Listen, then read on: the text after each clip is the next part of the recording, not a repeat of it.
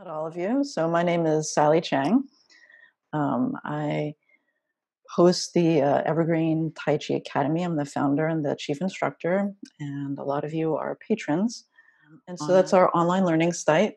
I'm also an acupuncturist and an herbalist, and um, and I've known Genevieve for a long time. I, I don't know, is it that we actually met, John? Well, I, I think that's part of it. And then we had some shared patients, and then we took the classical Chinese course Ah. together.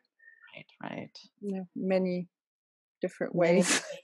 many ways that we've seen each other and become really good friends over the years. yeah. And um, and so yes, we we have a shared love for Chinese medicine and um, also the deeper philosophy behind Chinese medicine. So not just the the most recent incarnation of Chinese medicine, which is called TCM or traditional Chinese medicine, but also we've both had different teachers um, that we've studied with going into the classics, the classical Chinese medicine, which is Chinese medicine has been around for thousands of years. So you can imagine that it's had to go through many iterations of uh, responding to the moment at hand. So Chinese medicine is this very moment responding to the coronavirus at this time, you know, the epidemic disease that crops up in the moment. So it's a living tradition, right? It has a long history, but is always continually evolving. And um, Genevieve is a um, specialist in pregnancy, and um, and she is an incredible herbalist. I think herbal herbal medicine is probably your your first passion, right? Um, both. Western and Eastern, but especially Eastern medicine. She's studied with. Um, well, maybe I can give it give it over to you. So you you graduated Sure. from Santa Barbara and the Oakland School, and you yes. cre- studied further, right? Yes, that's right. Well, my first calling was as a, an ecologist. So that was my Mm. undergrad. And um, because I've always felt very drawn to nature, and um, but I always also had an interest in natural healing and um, ended up um, needing it for myself and had the epiphany after it worked really well that that's what I wanted to do. And um, when I started studying the classics, so much of it is rooted in nature and uh, observing um, natural rhythms that it, it really surprised me. But in in some some way, ecology was actually the perfect preparation to dive into the Chinese classics because I would read these ancient texts and realize, oh wow, this is what I've been seeing in the fields all these years, and Mhm. um, and it makes perfect sense. So, but I so I went on to go to acupuncture school and then uh, participated in um, or took um, for about five years of postgraduate studies after I was done in um, programs that were specializing in the classics. And I also hosted a number of um, continuing education programs on the theme of the Chinese classics and particularly herbal formulation. And um, so that classical herbal medicine at large is mostly my specialty. And then within that, I do have particular predilection for treating um, pregnant women. And I work with local midwives and um, and really enjoy it. Yeah, excellent. Thanks, Genevieve.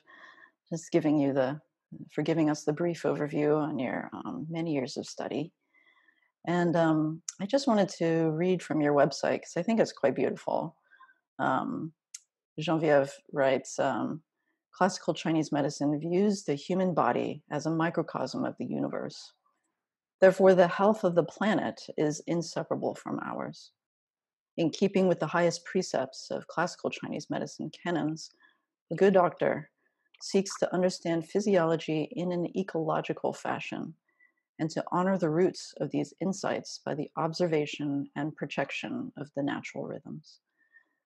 So I think that really speaks to your uh, your paradigm, your point of view as a as an environmentalist and ecologist, um, and also as a as a humanist that is really so devoted to um, the the betterment of humanity and human health, and what our topic is for today, which is viewing the environment and the ecology, how the seasons and the environment move us, how we're influenced by all of us, you know, as humans all throughout the globe, influenced by um, the world seasons, and also how those seasons are in our bodies as well. So the macrocosm and the microcosm together.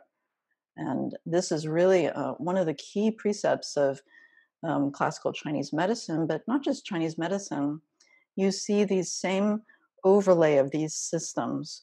So you have Chinese medicine, you also have feng shui, you also have Taoism, and you have um, all these like they they form these layers where they're separate fields, but actually there's like it's like a Venn diagram where they meet in the middle.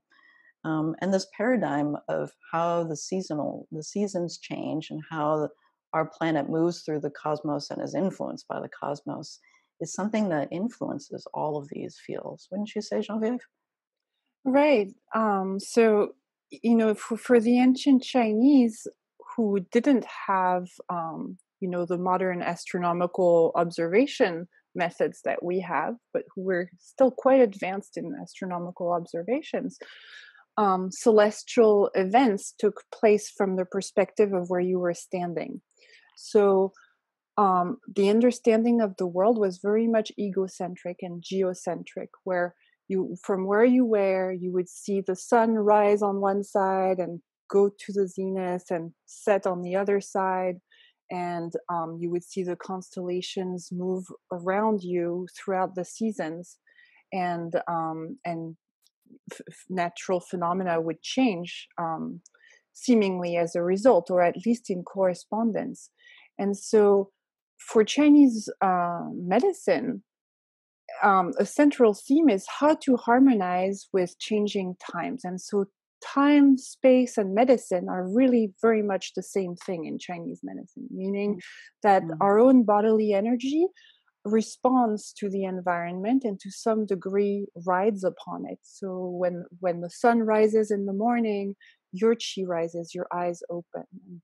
Um, uh, during um, in the spring the same thing happens. The plants start growing energy starts to grow and reaches its apex um, around um, the, the and then um, the qi starts returning to its root and settling down with you know you can observe in nature fruits falling in on a daily cycle level you see the sun setting and um, things are just returning to the earth and to storage and so we we experience all these rhythms on a daily level on a seasonal level and even on the level of one breath where um, and sally probably knows much more about this than me as a qigong master but just in in the act of bringing in breath and bringing it down uh, to nourish and then exhaling and bringing forth that spring energy um, of what we put out into the world. So they, there are many different time units on which the same circular motion of energy is happening. And for Chinese medicine, be it um, in the form of herbal medicine, where we move qi with flavors, or dietary therapy, also using flavors, or acupuncture, where we use needles, or qigong, where we use movement and breath, um, the aim is to put the human being back into this natural time meaning that when you're in illness it's because you're either too fast or too slow and you need to be put back on time. Um, so that, that that is sort of chinese medicine 101 um, yeah i love how you spoke about that because um, often our Western point of view is is so much about um, betterment, getting better, getting ourselves better, or making ourselves better than others. Was that basically the tenets of Chinese medicine? Is basically putting us back into a natural, harmonious time and an alignment um, with the natural cycles of nature. That's that, right. Yeah. Right. Yeah. And I know you wanted to talk a little about what's happening right now too with this season and hmm Um, yeah. Yeah, so let's talk about the overview of the seasonal changes in the annual cycle of time. Um, because this is it's something that we're all very familiar with, and yet when it comes, it's like we're still surprised. Go, it was just it was just springtime and it was kind of cool, and now boom, it's all it's summer, or all of a sudden summer has ended and now we're going into some colder weather. And so we're we're constantly influenced and um, by our environmental change just in our in our local climate but also just in, in the wider seasonal climate as well. So if we talk about the, the seasonal change and the movement of yin and yang so as we are moving towards the summer solstice we are we're actually well into summer right? So uh, summer actually began on May the 5th in the Chinese Qi nodes calendar. Um, and so, whereas in the West, we might think of summer as just beginning because, mm, you know, maybe school is out and vacation is starting or things like that. Uh, often we think of Memorial Day. Um, in America, we think of that as sort of like the beginning of summer, uh, which is just coming up on Monday. But um, in terms of Chinese medicine, we've we've already been in summer. We hit the solstice. That's like the peak of summer. That is summer at its apex. So it's what we would call the yang of the yang. So the yin of the yang would be the rising up to the summer solstice. By the time you get there, it's the yang of the yang, right? So it's like uh, on the yin yang symbol, it's would be the white side is the yang side and the black side is the yin side. It would be like the fish's head. The fish's head, the white fish's head, would be the peak of the yang. And when you reach the peak of the yang at the summer solstice, there's the eye of the fish, which is the seed of the yin. So the moment we passed, the moment we cruise past the peak of the yang of the yang at the solstice, yang begins to wane gently. It might be imperceptible to most people, um, but the seed of yin has already been planted, and yin is going to be growing, and yang will be slowly going, getting ready for bed. and so that's kind of the, the season that we're in right now. You have anything to Mm. add to that, Genevieve? Yeah, well, I would say this is something we see in the garden, even or out in nature. We see that for the past couple of months, you know, people, a lot of people have been gardening more with the the whole quarantine thing, and you know, we so seedlings come up, and if you notice over the past two weeks or so, um, everything is just getting so much more foliage, and the growth rate is really um, really much faster than before. So we see this acceleration of the upward movement of yang.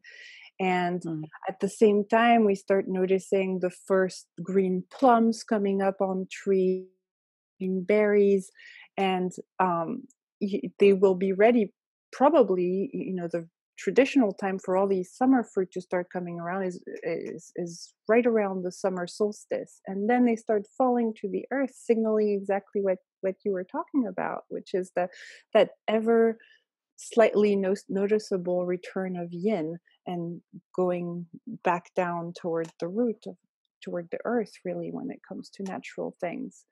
And um, i think that you know as the energy of yang rises people see a variety of possible um, um, ailments or just feelings come up in their lives. There are some that are positive and naturally associated with um, with that expanded yang state like for chinese medicine it's associated with the heart and joy mm, and um, the feeling of levity and energy but the the the reverse of the coin is that if it's not controlled it could be too much upward movement. And so some people who have a propensity to um, upward dispersion be it you know like uh, anxiety or maybe insomnia or palpitations or ex- sudden and excessive sweating like those people might notice that these things are getting worse in this season. And so it's important to then call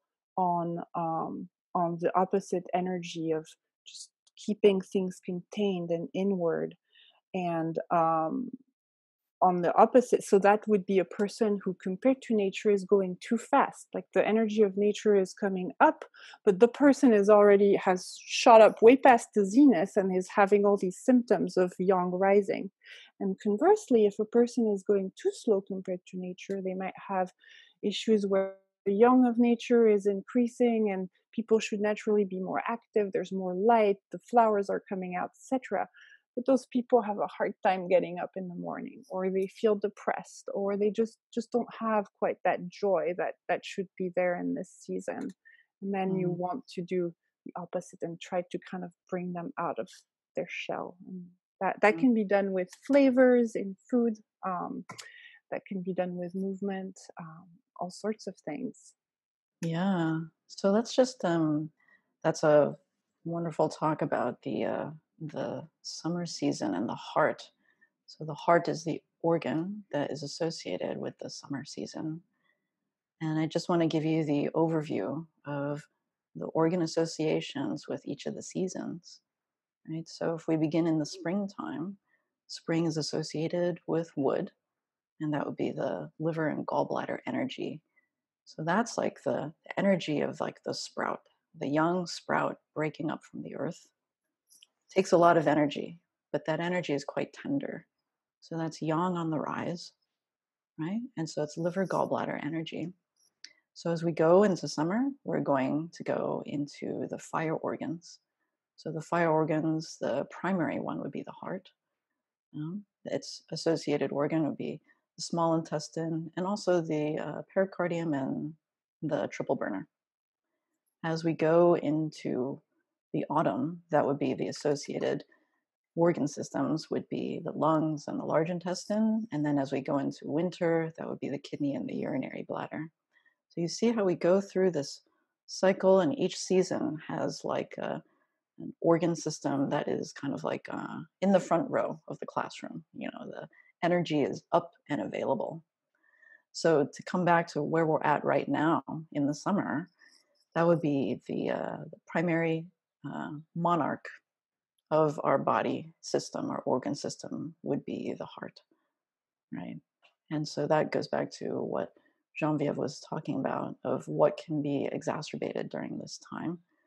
Um, the heart's primary um, positive emotion would be joy, a joyfulness. And I would also say um, its characteristic is benevolence. And um, when uh, when there's say too too much joy you can you can see this sometimes happening when there's like fire heart fire is flaring up right heart fire is flaring up and there's like a over propensity for for laughing or kind of like that fire quality of being unrooted because fire itself is immaterial right it kind of clings to the fuel that is burning the wood or the the oil in the oil lamp. But it itself is like this weightless, materialless. It wants to be in the in the air and in the atmosphere, and it's expressive and it's illuminating and bright. And so, you know, maybe we have we've seen um, in ourselves and in our communities uh, some things with our uh, our emotions that have been up during this season Mm, have you seen some things in the clinic and on your consults uh, during this season, Genevieve? Well, you know, I'm seeing, due to the pandemic, a huge rise in anxiety. And of course, you know, the season complicates that quite a bit. Um, mm. so, um, anxiety, you know, with adrenaline, this sort of flight or fright response can be shooting upwards in many of its manifestations. Like people will get, you know, palpitations or flushed or um, redness in the face. They're sweating easily. All the stress responses that we see um, can be more exacerbated in the summer. So then it becomes really important, um, you know, herbally. Uh, we use the sour flavor because it contains inward and it helps um, elicit its uh, associated element, which is the metal. And I know you were mentioning, you know, the lungs um, and um, and the intestine being associated with uh, the return of fall. And what the respiratory and digestive system have in common is that they bring elements from out the outside air and food and water and bring it inward and downward to create nourishment so we want to sort of ahead of time for a person who is going too too fast compared to the normal harmonious steady growth of yang that should be happening. A person who's kind of shooting way past that too fast we want to slow them down by eliciting the energy of of of metal and the fall and returning inward so mm. we've you know herbally i've been using a lot of um, of sour flavors like schisandra berries and and moistening flavors like uh, like Maimendong. But there's also really easy things people can do at home with food. Um, like for example, right now we see that there are, um, you know, the plums are starting to come out, the berries. These are all sour in flavor, right. and they nourish the fluids, which helps contain an excessive uh, fire rushing upwards. Um, those are easy things that people could do. Bitter greens also can help because the bitter fla- flavor descends in Chinese medicine. So I've been using quite a bit of that both herbally and and also in dietary recommendations. Mm. But yeah, so I would like say when you, go to, when you go to the grocery store or you're you don't go to the grocery store but you're ordering online and you have it delivered to your house depending on how you're getting your food what is it that uh, some people could look for in the bout bitter and the sour category that might be helpful during this time to quell some anxiety and to kind of ground the spirit? Well, definitely, um, you know, the, the summer fruits, the plums, the berries, the the peaches that are just starting to come out. These are all extremely moist and cooling and a little sour too. All qualities that help um, keep fire in check. And the mm. idea is not to douse fire because fire is the basis of life. I, I belong to a school of herbalism called the Fire School. We're really about f- fire is very important. However, it shouldn't be out of control, and um, and so um, you know these juicy sour fruits really help to to nourish that timing is very appropriate because they're seasonal. They, they they're coming out right now, and in terms of the greens, um, you know, they're also um, very seasonal right now. I'd say chard, kale, sorrel, if you can find it, is really wonderful because it has that sour, tangy flavor. Yeah. Um, there's also um, for those who have gardens, borage greens are really good. Um, and um, um let's see what else. Um, you know, lettuces, for for those who tend to feel cold uh, which is not incompatible with some feeling of heat rushing upward those who have cold bellies or cold feet i would be careful about not having those greens too raw some of the some of the fresh fruit is okay but you have to watch out that in trying to cool down fire, don't cool it down too much. So I would recommend to use those greens cooked, um, and uh, even the fruit can be cooked. Actually, that could be mm. a very delicious um, sort of um, what do you call it? Compote. Yeah, compote. Exactly. Right, and I I sometimes like to think of um, the bitter flavor. You don't like you don't need a whole plate of arugula or dandelion right. greens. Like if you tend to have a colder constitution, uh, like maybe your digestion is a little bit weak, or you tend towards having a little bit of a loose stool, or you get a cold back or cold feet, you know, maybe just a little bit of bitter greens would be good on the plate proportionally, you know, and then to have some other things like grains and cooked foods and other things that are that are a little mm-hmm. bit that uh, more towards your constitution.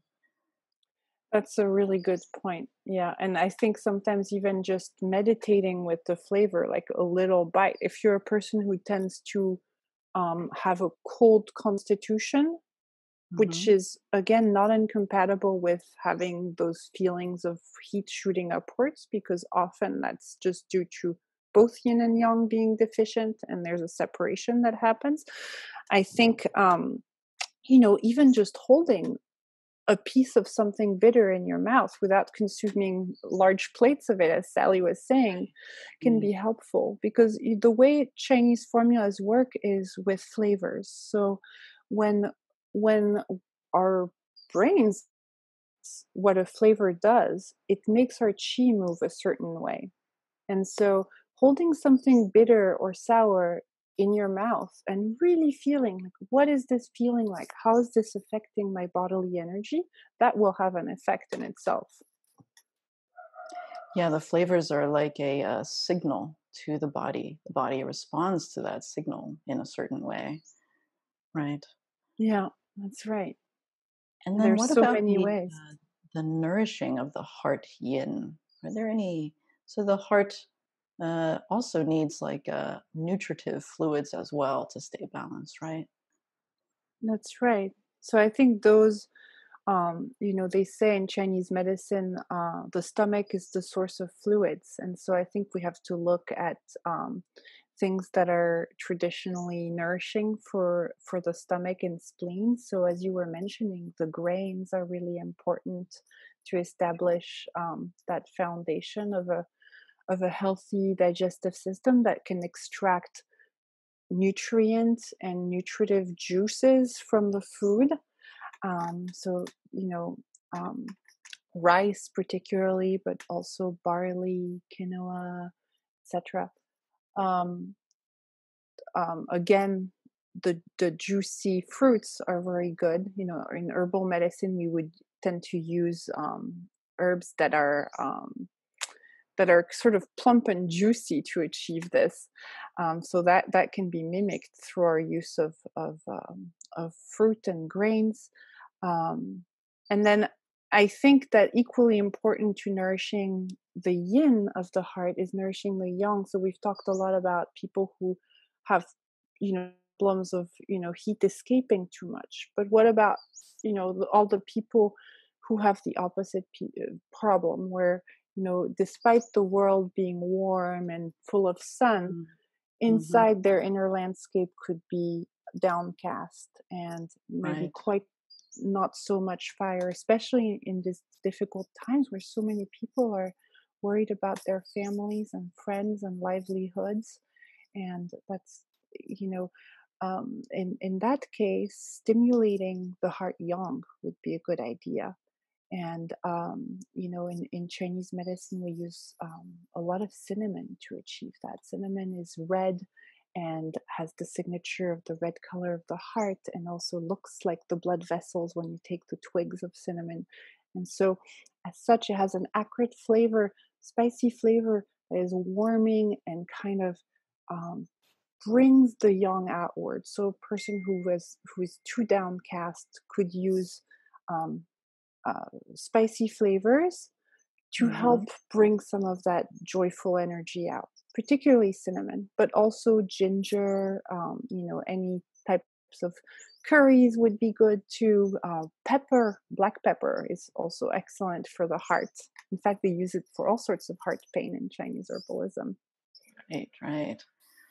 Yeah. So you see, there's many different uh, scenarios, and uh, unlike Western medicine, which is kind of like everybody gets this one medicine for all of these symptoms, we're we're always trying to address the um, the individual constitution. So there are different patterns for different constitutions. So somebody who might have a propensity for a heart fire, um, you know, somebody they're related to could have a deficiency, and they would get different medicine. So, in other words, if somebody has a great amount of heart fire, you wouldn't be recommending them to take cinnamon every single day. But for somebody who has a deficiency, a cold back or poor digestive system, cold feet, they could be having a little bit of cinnamon a bit more often in their food or in their tea. That's Yeah. right. Yeah, Yeah. absolutely. Yeah. And so those are, so that's our current season. And um, I was just listening to you talk about the um, the food uh, that's available. Like you can go out on a walk. I mean, where I'm in Oakland, uh, we can go out on a walk and we can find the plum trees starting to um, really leaf out and start to develop their fruit. And you can Mhm. see that development of of the fruit body. Um, and I was thinking about the uh, the emotion, the healthy emotion of the heart being joy. And when you when you're intaking something, something like a ripe peach or a ripe plum or some stone fruits that are are very juicy and how it it does actually stimulate joy inside inside the body right there's like you have the sour flavor you have the sweetness you have the juiciness if you pluck it straight from the tree you get that satisfaction of like seeing the growth process and like mm, there's nothing like having ripe fruits straight from straight from the tree right and that itself is just like really brings the joy um, just in that simple act yeah So true. And I remember yesterday we were having this conversation and you were mentioning the sun also. yeah just uh, the fact that there is more sunlight now than there was a month ago i think has been really uplifting for a lot of us. I know it has been for me and friends that i've talked to. So, I mean, even as we have been dealing with the threat of this coronavirus, um, whether we've had it or haven't had it, or somebody we know has had it, um, the fact that we've been going towards the sun, you could say, like sunlight is increasing, that we can coast on that energy and let it uplift our spirit. And it's good to let ourselves do it, you know, to not uh, to not uh, fight against the the natural quality of the season i think is one of the recommendations in chinese medicine to understand the season and not struggle against it but to find your way to balance yourself with it and to recognize the energy that is abundant in the season i think is a great way to um, bring ease into your life That's true. Yes, I think a lot can be achieved by just being out in nature and letting all these energies pervade our beings. And Mm. truly, I think that's where a lot of the sages of antiquity got their knowledge from was just the observation of natural rhythms. And of course, we can only aspire to such deep understanding, but um, being outside in the sun and just really taking in the joy of what's happening around us is um, an excellent meditation for the heart and very appropriate for these the time of the summer solstice. yeah and i think like in this uh, unusual situation that we're all in with the team not all of us have uh, a great access to the outdoors. Some of us have more, some less, if you're in an urban area. Um, but I think it's important to try and get yourself out there and getting the sunlight hitting your eyeballs, you know, like stimulating your your pineal gland and developing your your melatonin so that you are you are you need the physicality your your skin is is um, able to uh, receive the sunlight and then your body is stimulated to produce vitamin d. Um, so all of all of these things uh, which we think of are maybe very external to us actually we re- it's essential. We need that. We need that sunlight stimulation. Otherwise we just be living like the jetsons. We just take a pill and then for everything. And we are we've already figured out that that doesn't really work well enough for us right so, the best thing that we can do during this time is to really take care of ourselves, to know ourselves better, to identify our needs, to identify our constitutions, and take care of ourselves. We don't have a cure for the coronavirus, right? We don't have a cure for COVID 19 yet. We may, we may do someday. But the best thing that we can do right now is to promote and boost our immune system. And knowing what is available to us, not fighting against it, but embracing it and receiving it, um, is one of the key ways uh, that we can do this in Chinese medicine. Jean-Pierre, what is it? What is that principle probably in the Neijing that you're more familiar with than me about like how uh, the first medicine is really food. Like with a good diet, you don't you don't need medicine. Oh, that's right. Yes, and also in the in the Ars Materia Medica, they um, Yes. which is the first uh, herbal textbook that we have available to us. It's, they organize medicinal substances, including foods and grains, uh, into three categories, and the it's sort of the opposite thinking as Western thinking, where we think you know the strongest, most potent medicine is is the best. And for Mhm. them, the so there were three classes: superior, middle, and inferior. And the superior class medicine, it was grains and vegetables and gentle herbs such as mint or you know um, the like that we could take every day without any ill effects and they always had a little description and most of them ends with and this prolongs life so their Uh-huh. concern was more with having this harmonious nourishment and then you know middle class herbs were um, you know most medicinal plants that we use for intervention like for middle range illness like mm, colds etc and then inferior class herbs were to rescue life and they, a lot of them are uh, herbs that are considered poisonous if um, if taken wrongly and just herbs that we use for you know either urgent disease or chronic diseases that are very deep um, and uh, Yeah, yeah so those would be considered like the lowest category. right So it's really interesting, like to put the the Western mind and to start like opening up your uh, Chinese medicine mind. The most common things around you, that is your primary medicine. That is that is considered the highest quality. And I would say, like in terms of qigong and um, some Taoist practices, like how you behave and the actions that you take in your daily life, your daily practice, it's not just about memorizing more and more qigong. It's really about how your qigong influences your daily life, and that's the path to true liberation, right? So the qigong and tai chi or your herbal medicine formula, it's there to treat a certain thing or to learn a certain curriculum, and once you've learned it, then you can really just like embody that completely, make it your own, right?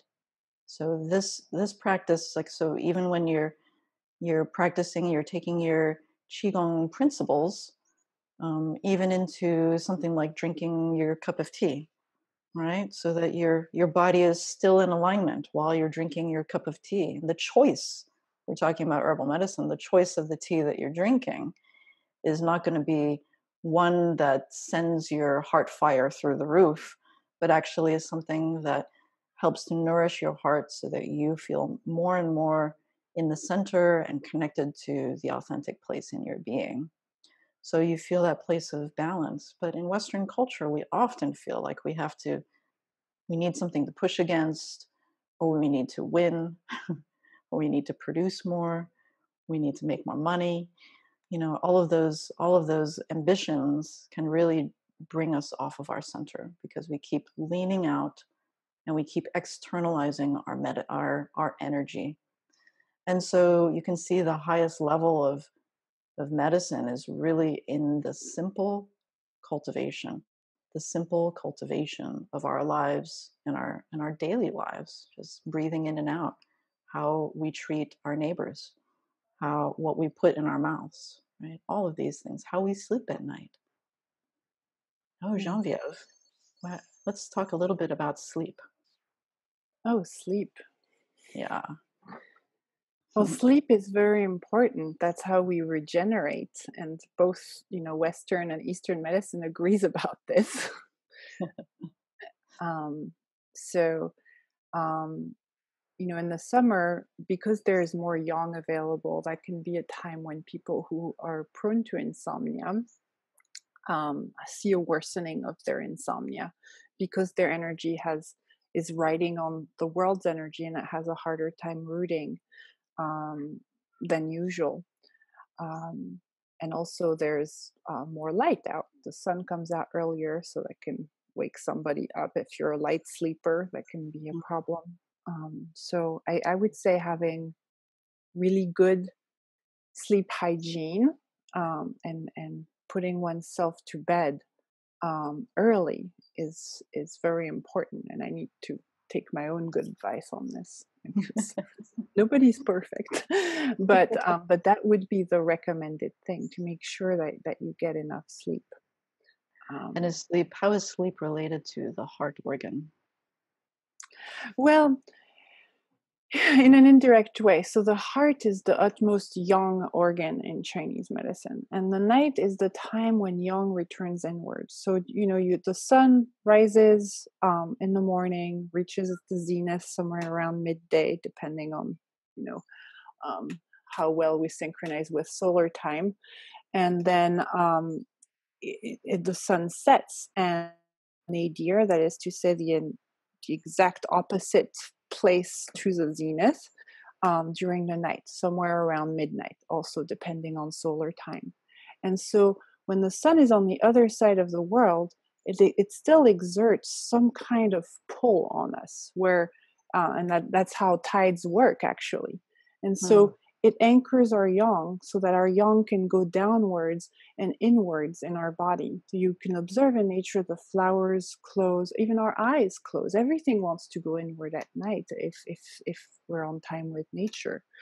Um, um, so how that's related to yang is because the heart is the center of human existence. It is the first thing that is created when a baby is is made the heart starts beating and it is very interesting in that it is both a receptive organ that helps you go inward it's the organ where you feel everything in your existence from and Mm. it's also an effusive organ where with each beat you generate blood flow and there's output there so it can go it can go both ways but it is really important in order to be able to continue life that yang returns inward every night and that that's where you know calming the heart and maintaining good heart physiology where it's not the heart fire is not flaring out of control like sally and i have been talking about uh, can really help you achieve a better night of sleep and better return of yang and therefore more longevity and health um, that answer that Yeah, so it's really important to, even though the nature of yang is uh, outward and expressive, it's important to direct yang inward so that you can actually restore yourself. You can give yourself that time of restoration and unconsciousness at night. Um, and I mean, this is something that uh, I was really happy to hear at the beginning of all of this um, uh, COVID 19 health recommendations was that people were recommending to sleep more. Yeah. It Yeah. was good. I, I was surprised that it was out there in mainstream media, but it it was great. Yeah, you never hear that. You know, usually it's just like a contest to who can sleep the less and produce the most, right? It's like and what pill you can take, etc.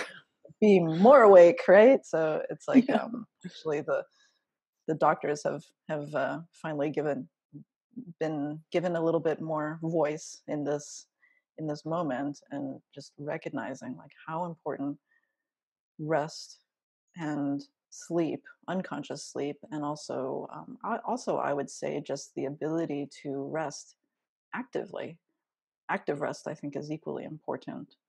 So you're awake and maybe you're puttering around in the garden and you actually feel yourself being restored by that or you're doing the ironing or you're folding the laundry or you're you know trimming somebody's hair because you know we all need a haircut nowadays.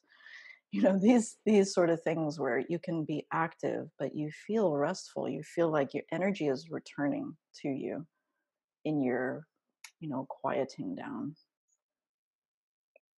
Yeah. And uh, Sally, I really liked what you said about, you know, um, needing less and and um, just using what's available to us. Like it doesn't cost anything to breathe and to appreciate deeply what you're doing and appreciate nourishment coming your way and eating simple foods and simple flavors. And Mhm. one thing that came to mind when reflecting on that classification of of herbs and with the superior and middle and lower level Mm. the people of that time didn't have very much available to to them. The you know survival was an issue and it's a peril that's worth drawing in this time of quarantine where certain things are not available or hard to find. And the the fact that simple foods are the superior way to go simple meditation just returning to the heart the more simplicity the better Mhm. but that's that's the hallmark of a wise people that's used to using resources wi- wisely and not um, over consuming and Yeah. really seeing as precious things that are precious such as med- medicine and um, other luxurious things that we're accustomed to but are now maybe reconsidering in a new light i hope Yeah, I hope so too. And it reminds me of what my teacher Liu Ming said. He's a Taoist priest. He's uh, no longer with us. Um, but he would he would always say that the character of the heart is benevolence. That the heart itself doesn't need very much. Just like a fire doesn't need that much, right?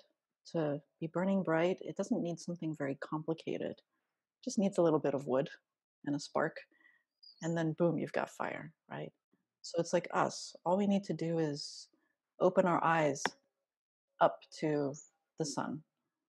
And the heart itself, the heart organ, you know, all the blood that it receives, it, it keeps a little for itself, but then all the rest gets pumped out to the rest of the territory, to the rest of the of the uh, domain of your body, right? And then it returns to you, returns to the heart. It's replenished, and then it's infused with like the spirit of the heart. The heart takes a little bit of nourishment for itself, and then boom, it goes out again to every single part of the body. Every single cell gets some.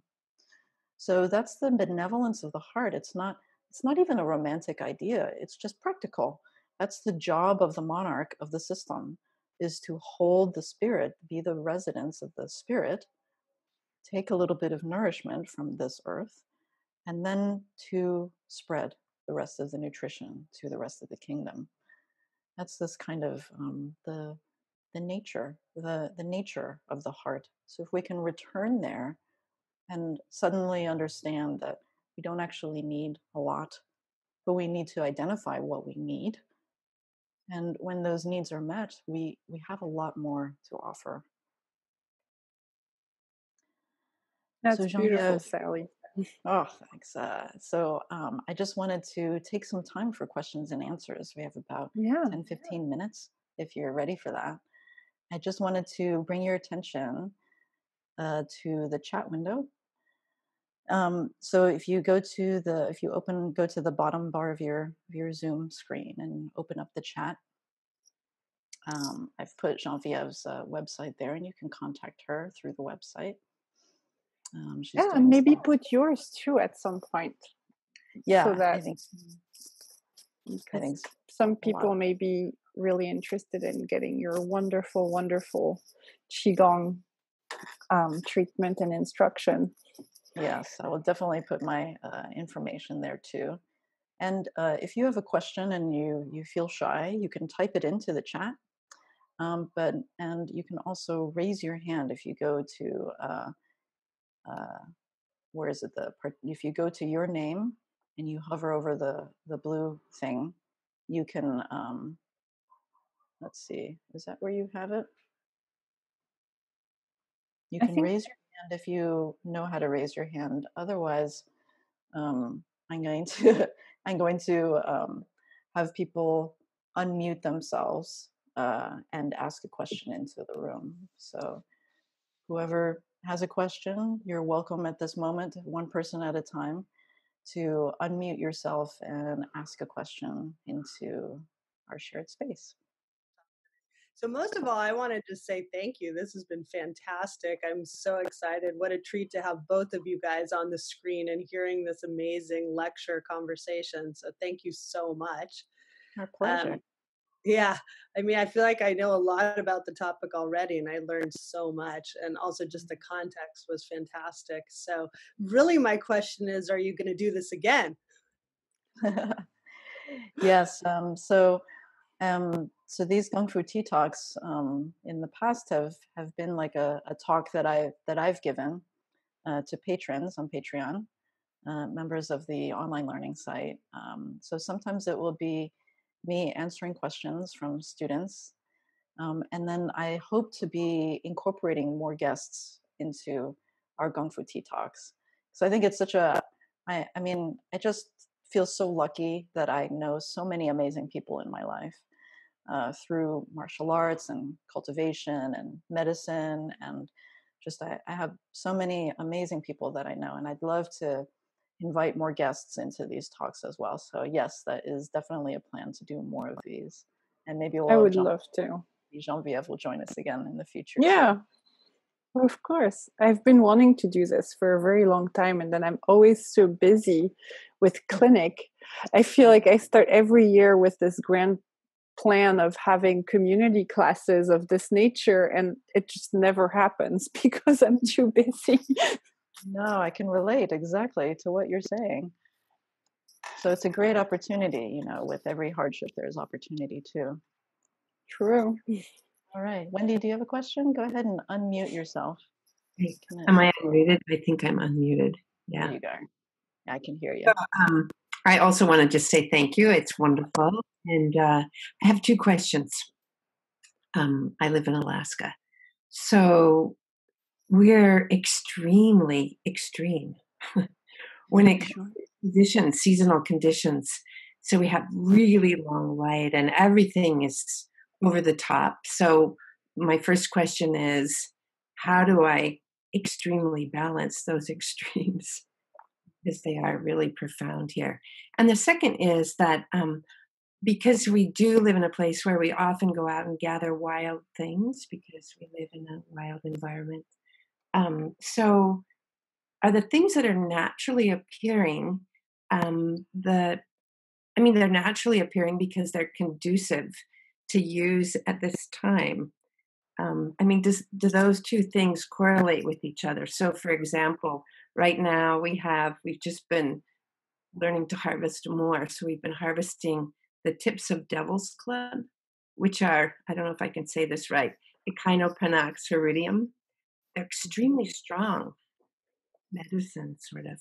So, um, just wondering about how to work with what's emergent and how to mm-hmm. work with what's extreme in my environment. Great mm-hmm. questions. Um, so I, in terms of balancing the energies, I think that um, that happens naturally for you because when you do have winter, it's deep, deep, deep, deep, deep winter. so I think I'm imagining human beings who live in this kind of environment have such a greater bandwidth for expansion and contraction than than those of us who live under you know milder climates. Um, so I, I here in Northern California, you know, yes. or in California, the the seasons can get a little mushy. That's right. Um, yeah, so I think unless you're having symptoms, um, that are bothersome, I wouldn't worry so much about it. And in terms of the food, that's a really, really deep question. And that's one that I've been thinking about for most of my adult life. You know, what causes certain plants to have certain properties? And how dependent is it on one, the characteristics of their environment, and two, the climate that they're uh, that they're growing in and I think, um, you know, when we consider plants, we consider the things that are imparted to them by nature, being climate and environment, precipitation, things like that.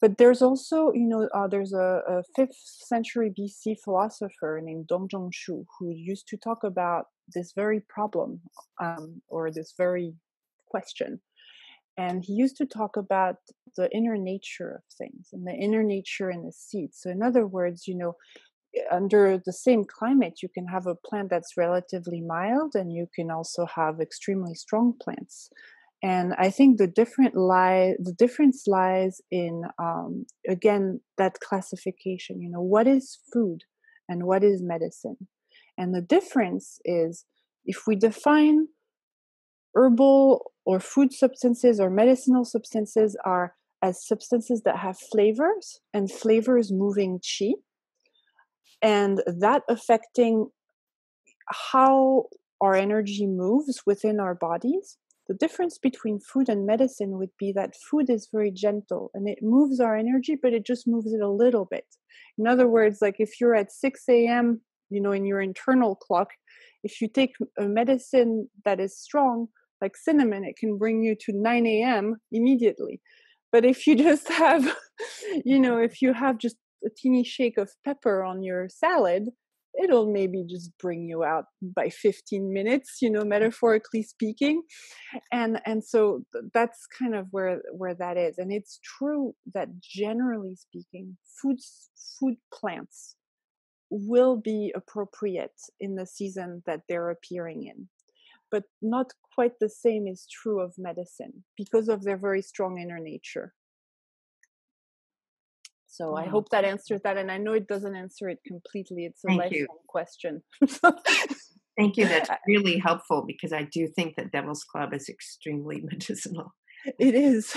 Yeah, it is. Um, yeah, and how lucky for you. It sounds amazing. All right. So, does anybody else have a question they'd like to ask? You can go ahead and unmute yourself.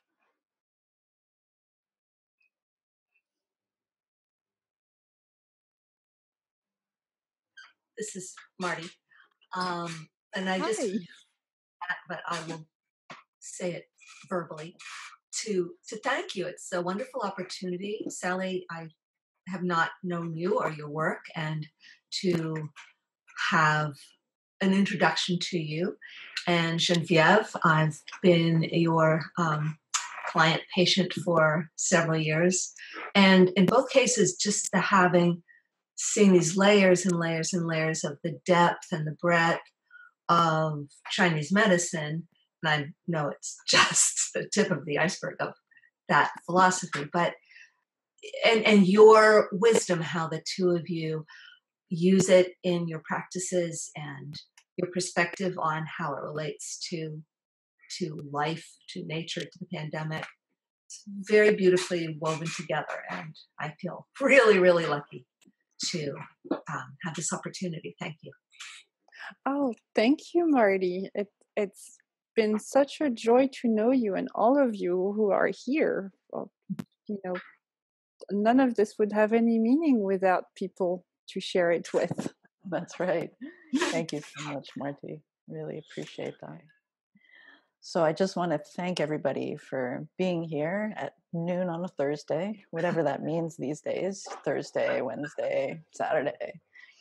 But I really appreciate your presence. Um, it really helps uh, bring this all alive and bring more meaning to, uh, to our community. And I really want to thank Genevieve for taking the time out and sharing in your wisdom. Um, this has been uh, such a great, fun opportunity. I've really enjoyed it, and and we've had so many amazing conversations over the years, and um, I'm so glad that we can we can share it with our friends here. It's wonderful, Sally. I've always felt like our views are so similar in Chinese medicine, and yet I just learn so much every time I'm talking with you. So you too. I feel thank exactly you. the same way. thank you for being a wonderful friend. Uh, you too. You too. Wonderful friendship. Um, thank you, everybody, for showing up. And I hope that you've um, maybe heard something that could add something to your life. And we'll be, um, you can look forward to the next one next month. And um, we'll talk about, well, I don't know what we'll talk about then, but I'll let you know. We can figure it out. If you have We'll figure it out. suggestions, email us. yes, you can always email us. We love, I mean, people think that we don't read emails and stuff, but actually, uh, knowing what your thoughts and experience are are really crucial for us to to understand what it is that you're interested in. So, I mean, we can just talk amongst ourselves for forever, but it's actually very helpful to hear what you are interested in. So please do email us and let us know. And I'll see you on Patreon. This is a um, this was offered uh, freely to everybody. Uh, next month, uh, we'll be offering it to sustainable practice members and above, um, and Genevieve's uh, invitations as well. And these uh, talks will be recorded as well, so we'll be reposting it on Patreon. Okay, and then on the chat, I added the link to Patreon, the online learning site, and I also added a um, link to an upcoming Qigong workshop that I'll be offering June 1st through the 5th. I think some of you may have taken that class, but it's a, um, we'll be learning Qigong. It's designed like one hour of practice per day from 8 to 9 o'clock, followed by an optional question and answer period. So it's designed to help you instigate and support your own home practice and you'll learn a complete qigong set at the end of it that you can you can feel like you you got your teeth into something and you can you can explore that for yourself. So it's uh, five days monday through friday eight to nine followed by question and answers. It's in collaboration with san francisco zen center mm-hmm. um, and the link is uh, is on the chat window. So i hope some of you meet me there. And thank you genevieve so much. Thank all of you for being here and we'll see you next time. Thank, you. thank you. you, Sally, and thank you, everyone. Thank you so much. Thank you, Sally. Yeah. None of this would have any meaning without people to share it with. That's right. Thank you.